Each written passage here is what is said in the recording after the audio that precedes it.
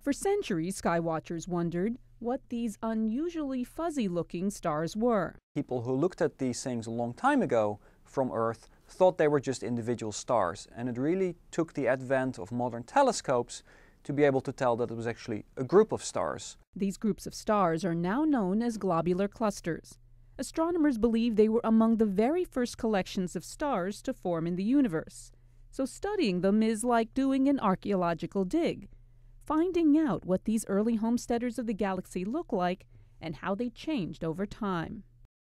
All of the stars in the cluster are orbiting around the center of the cluster, kind of like bees buzzing around a beehive. If they weren't moving, then they would all fall into the center. Just like if the Earth weren't moving around the sun, it would fall into the sun. And so the same thing would happen with stars in a cluster. Knowing how the stars move will help scientists understand what's going on deep inside these stellar islands. But seeing the details of these beehive swarms wasn't easy to do until Hubble came along. Its resolution is a lot better than you can get from normal telescopes from the ground. So you can separate two stars that are very, very close to each other with the Hubble, which from the ground just look like one blob. You need a telescope which is very, very stable.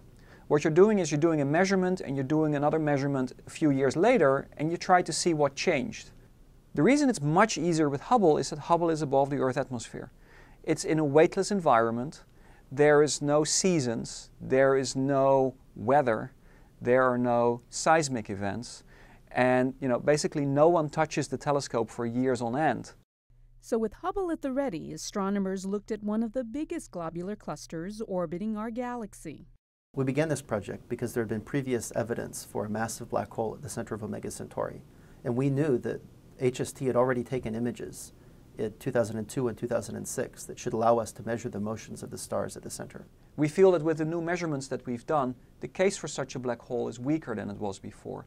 And we also think that if there is a black hole in the center of the cluster, it cannot be as massive as had been previously suggested. This is one of the new uh, UVIS images. If you just start with the images that we analyzed and look at one image and you compare it to another, just by eye you couldn't tell that the stars had moved. But if you use high precision computer programs, you can analyze what their positions are in the two different time frames. Pretty much double the baseline that we had before. This allows us to sort of use the computers to tell us what the stars will look like 10 years from now, 15 years from now, 100 years from now. It's studies like these scientists hope will give us insight into how our universe evolved. From the Space Telescope Science Institute in Baltimore, Maryland, I'm Mary Estacion.